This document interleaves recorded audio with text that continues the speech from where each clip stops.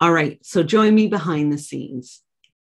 Hi, and welcome back. My name is Patricia Regier. I often get questions on about how did I do that when I'm facilitating a workshop or presenting a keynote, and I do something which seems like it's fancy or magical um, within my PowerPoint slides or a facilitated engagement um, opportunity and activity. So today I'm going to share uh, behind the scenes on that the the way I embed a word cloud uh, with Mentimeter or Menti.com into the slide deck so that it just appears magically. So join me and let me show you behind the scenes of how I do this. You might see when you're attending a presentation that you just need to go to menti.com, but as an account, you actually need to go to Mentimeter. All right, so you get into Mentimeter, and I have a lot of different presentations here. You can start, uh, create a new presentation and just title it. Um, this is a free account, so just create a brand new um, option. Now there's other ways you can add a new slide, import. What I tend to do is on the right, I click new um, uh, slide type and with the drop down arrow and then I often pick word cloud. There are other options here too you can explore and test this out with your with your group. So I pick word cloud um, and then I can ask a question.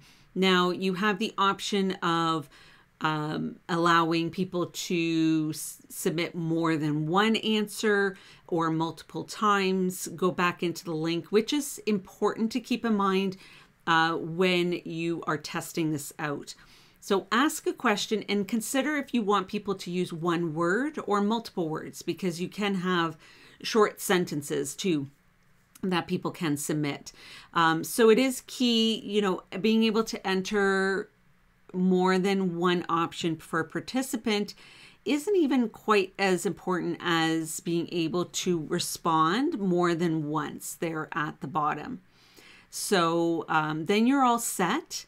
And what we do next when this is all ready to go is we at the top where it says share is what we want to be clicking next. I also want to mention, first of all, up at the top where it says go to menti.com, this is going to show up on your slide when you do present it or embed it in your slide deck. Um, it includes a code that will, I will show you an opportunity of how you can grab that link that you can share as well and, and how to share it in a couple of different ways. So that information will go with you um, with the slide when we embed it into the slide deck click share, which is on the top, and then copy the link. Um, you have that option right here. So I click download QR code because I like to add that in a slide right before I have the slide in my um, PowerPoint or whatever platform you're using uh, before I have the actual word cloud. So I take that QR code, I put it into a slide so that people could use their phone um, if they wanted to at this point um, if you know when i'm sharing this presentation. So i just add it into the slide deck and then i will show you what to do next. So back in mentimeter.com and to get the code that i need i need to click presentation sharing here in this place now that embed code, that is something that you can use for putting into a website if you want something live going on. But what I need is that to copy the link and I'll show you next how to add this into your slide deck. All right, and what I have um, in Trello is a little reminder here. Because when it's something that we don't do all the time, I have my little reminder prompts too, just to share that as an additional bonus tip. And how I insert a word cloud into PowerPoint is I have to access the add in in PowerPoint. So I first have to click insert up at the top, and then I find the add ins, which is right in between the where you see the chart and you see the zoom and it's right under record is where you'll find that. So I click add ins and then I can add I can you know type in Menti and it, you'll see it here and then I click add. Sometimes when you click add you will need to then log into your Mentimeter because I have it open already, it might be recognizing that I am um, already in my account. So you do need a Mentimeter, meter, at least a free account for this to work and have set up your presentation as I just showed you in order to insert it and this next part to work. So then I click add. And this is where I need to insert that link I just copied in Mentimeter. Um, so it's that presentation sharing link in that section. And this is where I add that link so that it will be embedded into the slide itself. What I do is I can take my phone and I can either use the link in chat or I can use my the QR code. So I go to photo. If you if your phone isn't newer and just opening up the camera and pointing at the QR code doesn't work for you, it didn't used to work for me on my previous phones.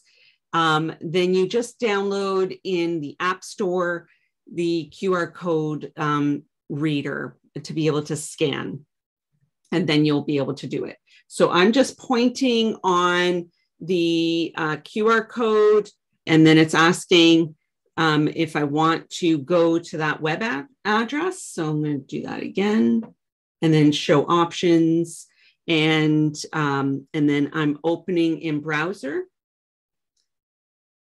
and then I'm going to show you right now. What I'm doing now is also going to be entering a, it opens us up, menti.com, and I can, um, I can do a whole sentence or I can just do a word. So you might think about that with your question. If it's a one word, um, you know, you know, type of question or something that is a sentence and how that will show up. So activities I can use is what I'm going to um, submit and then I click the submit button and then it pops up on the on the word cloud and I see one person has participated. Okay, so now I'm going to show you how to download and potentially share that information after your workshop. Um, so, definitely the word cloud has always received such great responses. And it's a great way to follow up with your participants after the fact and share that maybe while you're sharing other resources or an evaluation. So I have quite a few presentations. Again, this is the free account. And um, so for a conference that I uh, shared this, and it was that worked out so well like that many people and it was moving and moving it was just fantastic um, and if you are recording that little segment, you could use that in social media too and have that moving, um, maybe even have it recording on your phone or ask someone to do that. So I can download re- the results right here on the right. It says download results. Um, I can also, so it's an upgrade to put it to Excel, but I can just download it um, high resolution and and then it pops up as um, as this and then I can up at the three dots top right I can print or if if you right click you'll see um, often a print option I'm not seeing that so what I do in this situation is I click print and then I print to PDF and then if you need to make sure it's in color. Um, so I would then save it as a, a, a PDF and you just save it. So the results, I can do that. And then with that too, I could crop it. Um, sometimes I put it into Canva and crop it, but I always want to give credit to that this is Mentimeter if I am using it on uh, social media post um, as well. So it's as simple as that of being able to to embed that into your PowerPoint, follow these directions. I'll put them in the um, blog post below so you can have that as your, you know, um, you can check back to it. You can save uh, the link as your favorites. Um, or go through this video another time when you need it uh, as well. So you can like it. You can save YouTube videos, even if it's a private playlist for yourself. And um, I can always give some additional information if you have questions about anything I'm talking about and you'd like to hear more about something, just let me know in a comment below. So thanks for checking this out. Again, my name is Patricia Regier with Regier Educational Services, author of the book, The Online Shift 101 Pro Tips for Facilitators, Speakers, Workplace Trainers, um, just like you.